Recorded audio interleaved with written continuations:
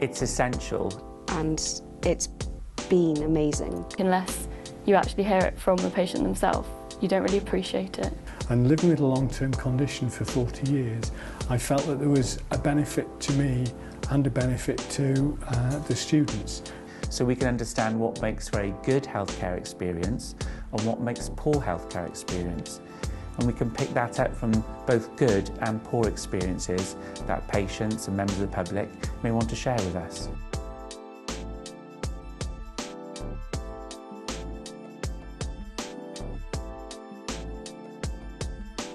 having patients and like service users come and talk to students. I always find that if someone comes in and talks about the condition that they have or the treatment that they've had, then it instantly sticks in my head. Seeing the illness or the condition within the context of someone's story, that kind of gives an extra layer of like understanding they want to care for people and they want to help people and that clearly isn't just you know, fixing whatever illness they have because sometimes you can't completely fix it. So it's kind of dealing with how that illness has affected them and their family. And one of the important things I think from, from a teaching point of view is that when we engage in these events, the lecture rooms are actually silent and the students are really listening to the patient. You could hear a pin drop.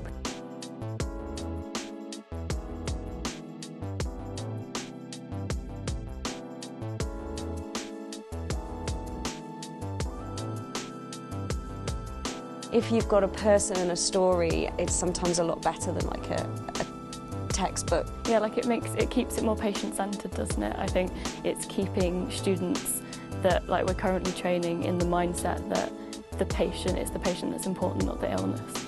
They go away with a really enhanced perspective that they can then take to their to their client group as they go as they come mm. qualified. Mm. But I go away with a really positive feeling of, of empowerment and self-worth. Mm. And that is brilliant. Mm. There's everybody always says to me, Stuart, why do you spend all this time doing it? Yeah. And I say, because it gives me as much back as I, as, as, as I ever give to anybody else. So I have a number of patients who come in and discuss their story, talk about their experience, and they tell the students exactly what it's like. It wasn't just come along and go into a classroom and, and do some teaching. There was um, far more support initially about what, how did I feel? Did I feel comfortable with talking to groups of people? Did I want to speak just to small groups or was I happy to speak to larger groups? We're very flexible and for example they may want to become involved in direct teaching but they may not want to stand up in front of a class and if that's the case we can organise maybe the recording of their patient experience and turn that into a digital patient voice rather than a stand-up experience. So within the sessions that you run, what do you do? With psychiatry and film. It's from watching the film and see how they portray mental health in the film. So that's more of a chat, which is really nice. And then, you know, there are the more formal ones where I stand in front of like a lecture room and got a presentation. Yeah, at the end of sessions, it's really good to get positive feedback, both from the academic and from, and from uh, uh, the students. And I have to say, I've always received that. It's lovely when you get to the end of a session um, and you feel that value offered back to you. Um, or if there's been something which hasn't worked quite as well, you're able to talk it through and learn from it to take it forward for next time.